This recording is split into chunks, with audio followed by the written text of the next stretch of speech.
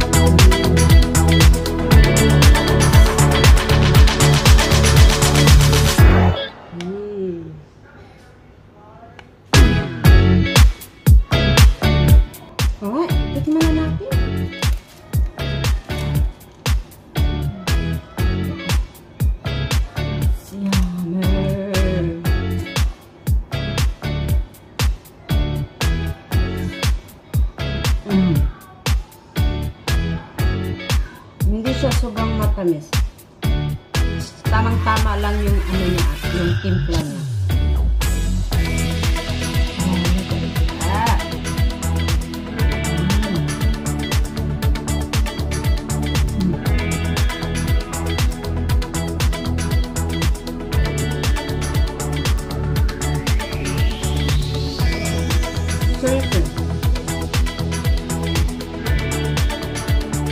This is my first time to cook this one. To be honest, um, nakita ko lang ito. Yung, ano, yung recipe, nakita ko lang ito sa, ano, sa TikTok. So, sinave ko at, you know, um, I said to myself na, hmm, kagayahin ko nga, try ko nga lutuin yan. So, yeah, I did and, um, yeah, I'm glad that um, I see the recipe and then yeah, it turns really good and yummy. try this one guys. Seriously. Mm hmm? You try? Hmm.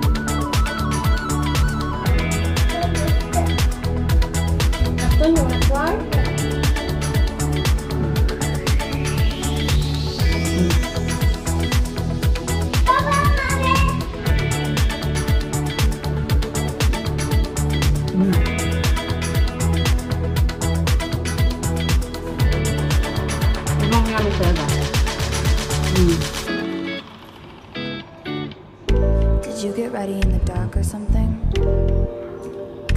Like a beautiful nightmare.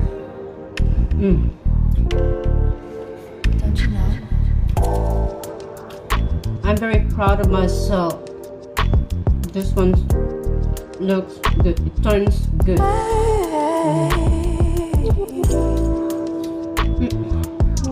Sorry.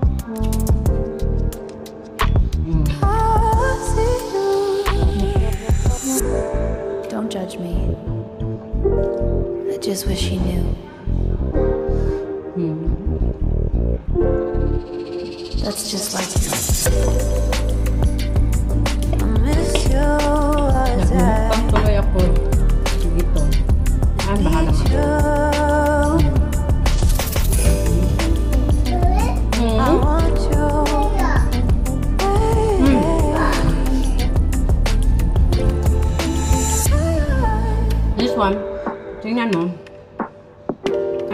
Golden brown. Pero tingnan mo sa ano. Sa bottom niya, um, ano siya, um, parang siyang creamy. Mm. Really yummy, guys. Guys, seriously, try this one, and you will not regret it. Seriously, promise.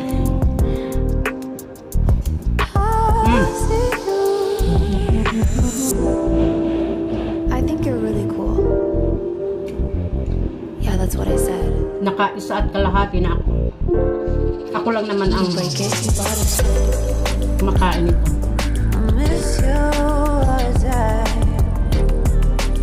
You. ako lang kakain ito kasi wala yung partner ko. Tapos yung mga kids. Ayun. May sarili silang pagkain. Tapos yung panganay ko pa, ah, ano siya, allergic siya sa egg. So, hindi ko na lang siya bibigyan. Hmm. I know life ain't always fair. Lemon lime bitter. This is one of my favorite drinks. Mm.